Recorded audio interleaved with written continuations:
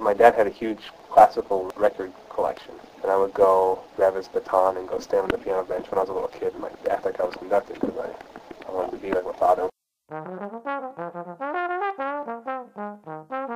His the, the organization that he was the commander of in the Air Force had a big band. It was called the Falconaires when I was in high school, so I would hear them. At first, I kind of liked the big band playing, and I'm, not ashamed to say this. This is how it is. It's like trumpet players playing really high and stuff like that, like really showy kind of playing, which is what I was originally kind of attracted to.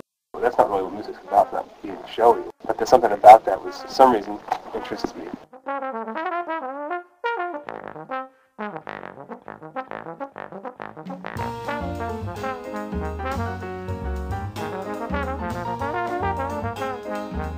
Thing about the jazz program at Juilliard, first of all, it's young, but it's also it's very traditional. Program very rooted in the tradition of jazz.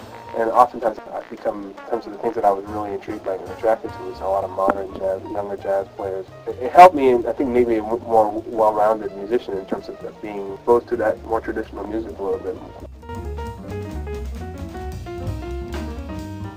One guy I said was heavily influenced by, uh, people never actually guessed this, but Michael Brecker, man, I mean, I used to listen to him just over and over and over again. There's one song on the first CD called Puddle Jumping, and that's actually kind of kind of influenced by a song of his, which is called uh, Delta City Blues, where he does similar things to that but on the saxophone.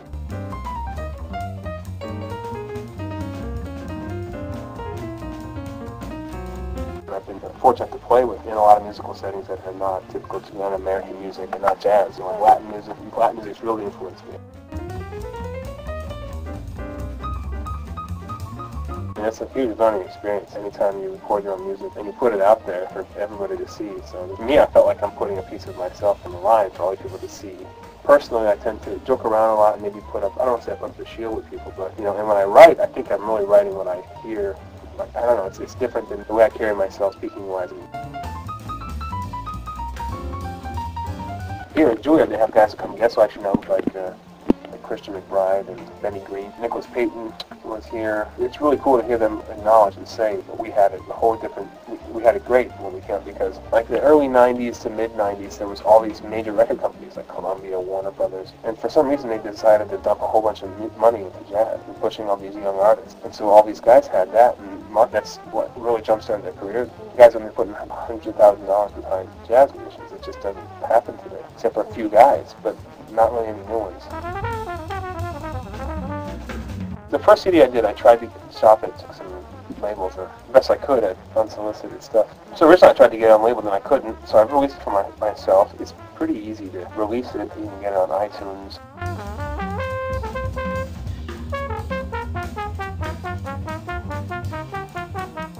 young jazz musicians are writing really interesting music, you know, beautiful music too. But you don't usually see young people that much at jazz concerts or going out to see these people. Somehow I, started getting a, a, a, subscription to Downbeat. I didn't ask for it. I don't know. Somehow it started coming to my, in the mail to my house. And I read this stuff. I don't know, know half the words these guys that are writing about jazz are using. It's written in such a way that I think it's so pretentious and like it's counterproductive to musically.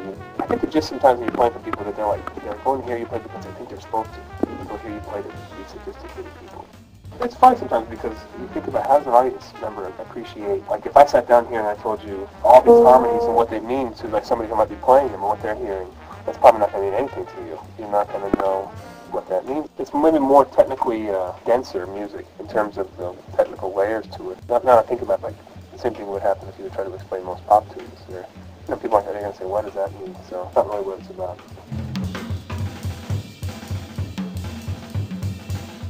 most people that are quote unquote the jazz business that are traveling under their own names and making a living playing their own stuff, most of the people have to travel and do that kind of stuff. I can't think of anybody off, off the top of my head that can make a living playing jazz in New York. It's also like kind of like a great benefit of doing this. Know. Places I've gotten to go because of, of playing trombone in fifth grade, I never would have thought I would have gone to some of these places.